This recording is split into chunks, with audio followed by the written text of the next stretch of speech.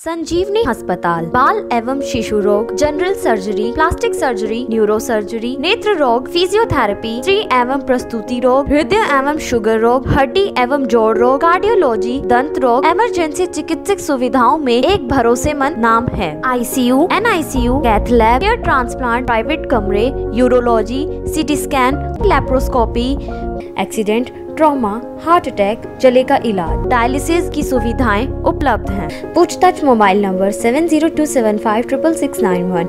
नमस्कार, मैं हूँ प्रमोद और आप देखना शुरू कर चुके हैं दी सड़कनामा डॉट कॉम। इस वक्त मैं तस्वीरें आपको चौधरी देवीलाल यूनिवर्सिटी के बाहर की दिखा रहा हूँ। जीत का जश्न मनाया जा रहा है। अभय सिंह चौटाला है। सतासठ सौ सात वोटों से चुनाव जीत चुके हैं। हमारे साथ इस वक्त अर्जुन सिंह चौटाला है। अर्जुन जी, क्या लग रहा है? पहला रिएक्शन क्या है चुनाव जीतने का?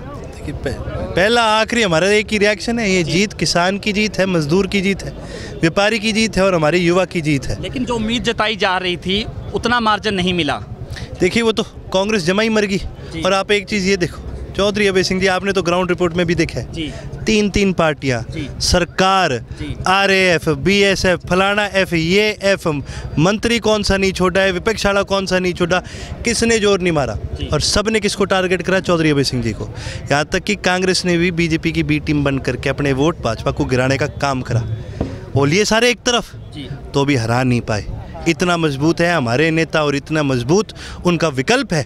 इतना मज़बूत उनकी जो ये अग्नि परीक्षा वो इतनी मज़बूत है कि यहाँ से जीत करके निकले हैं। अर्जुन जी जो जहाँ पे किसान आंदोलन का बड़ा असर देखने को मिला जो सिख बेल्ट थी वहाँ पे भी बीजेपी को वोट मिला हालाँकि कांग्रेस को भी पैरलर वोट मिला है। वहीं इंडियन नेशनल लोकदल है शहर में जहाँ पिछला चुनाव तीन हज़ार वोट से जो है लॉस हुआ इस बार लॉस बड़ा है। तो उसको लेकर के क्या कहना चाहेंगे? किसान आंदोलन का कितना असर दिखा? देखिए जी जैसे कि मैंने कहा सरकार है। जी। सरकार हर हर तरह के हथकंडे अपनाती है। सरकार हाथ भी जोड़ती है पैर भी जोड़ती है सरकार नौकरियों के लालच भी देगी और सरकार तो माल भी बांटने का बहुत काम करती है।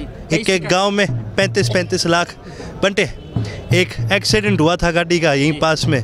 कितने निकले गाड़ी में से? पंद्रह लाख। इतने पैसे बांटे गए। और कैसे बांटे गए ये भी आपको पता है।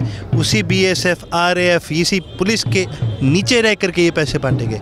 पर ये सारी चीज़ें जी मायने नहीं रखती। मायने ये बात रखती है कि जितना मर्ज़ी सरकार ज़ोर लगा ले। एलनाबाद के किसान ने एलनाबाद की जनता ने चौधरी अभय सिंह जी को फिर से जिताने का काम कई वीडियो वायरल हुई पैसा देने की। हंजीरा गाँव में भी जो है कैश पकड़ा गया। एक खुया टोल प्लाजा पे एक जेजेपी के जो कार्यकर्ता हैं चौटाला गाँव के राजेश। उनसे भी कुछ कैश बरामद हुआ। कुछ गाँव में भी वीडियो वायरल हुई कई लोग। हालाँकि इनेलो ने शिकायत की लेकिन कार्रवाई को लेकर के क्या कहना चाहेंगे?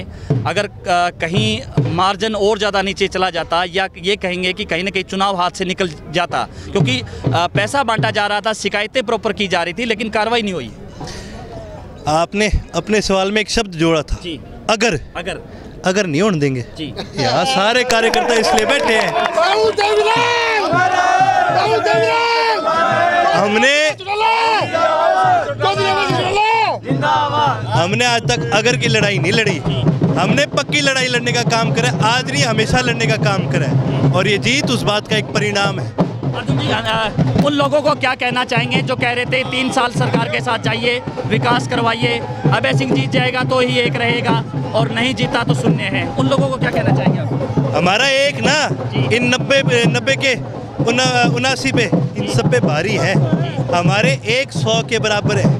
और हमारे जो एक है जितने काम वो करा सकते हैं अगर सरकार उसका आधा भी कर ले अगर उसका एक हिस्सा भी कर पाए तो मैं ये कहता हूँ कि सरकार की इतनी बदनामी ना हो। काम शुरू हुए एलनाबाद में। उम्मीद करते हैं वो आगे भी जारी रहेंगे। जैसे सेम की बात थी नहरों में पानी आया सड़कें बनी। हम तो इस लड़ाई को आज लड़ रहे हैं कल भी लड़ेंगे। जी। तीन साल बाद आप और मैंने यही चुनाव में फिरना। है। आपको दिखा दूँगा ये सरकार की के काम है। सेम के बहुत बड़े प्रोजेक्ट है करोड़ों का प्रोजेक्ट है अगर एक भी ये सरकार पूरी कर देती है तो मैं मान जाऊँगा भी सरकार ने कुछ करा है। वरना ये सरकार ई भाई है दो तारीख के बाद अब इनमें से कोई नहीं दिखेगा आपको। एलनाबाद की जनता को क्या कहना चाहेंगे? अहलाबाद एलनाबाद की जनता को मैं यही कहना चाहूँगा ये जीत आपकी है। और आपकी आवाज़ को उठाने में आज चौधरी अभय सिंह जी कोई कमी नहीं छोड़ेंगे। पहले भी उन्होंने हमेशा इलाहाबाद की आवाज़ को उठाने का काम करा है। किसान की, युवा की, छोटे व्यापारी की, मजदूर की, हमेशा हमने आवाज़ को बुलंद करने का काम करा है। आपके आशीर्वाद से इस आवाज़ को और बुलंद करने का काम करेंगे। दुगनी मजबूती के साथ आपकी आवाज़ को उठाने का काम करेंगे। जी लास्ट खास सवाल है। हालाँकि परिवार से जुड़ा हुआ है। जननायक चौधरी देवीलाल परिवार के काफ़ी सदस्य हैं जो सीएम ने भी कहा कि पचहत्तर परसेंट हिस्सा आज भी हमारे साथ है। जिसमें चौधरी रंजीत सिंह की बात करें आदित्य चौटाला की बात करें दुष्यंत दिग्विजय अजय सिंह चौटाला ने भी कहा कि पिछली बार आए थे अंतिम वोट मांगने के लिए फिर आ गए हैं वोट मांगने के लिए। क्या कहना चाहेंगे? चुनाव आप जीत चुके हैं। इन्हें ला लिया ना ज़ोर अपना। कमी तो नहीं छोड़ी कोई। बड़ा क्या करते थे कि भी हमने विरोध नहीं करा, इसलिए जीत गए। हम तो आए नहीं, इसलिए जीत गए। आप थे ग्राउंड पे, मैं था ग्राउंड पे। कमी छोड़ी कोई इनने। बोलिए सर एक तरफ़। बड़े चोई साहब का परिवार इस देश की जनता है, हरियाणा की जनता है।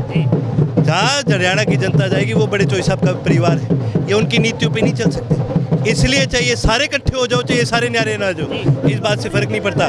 जो बन जननायक चौधरी देवीलाल की नीतियों पे चलेगा वही उनका परिवार है ये देश का किसान उनका परिवार है।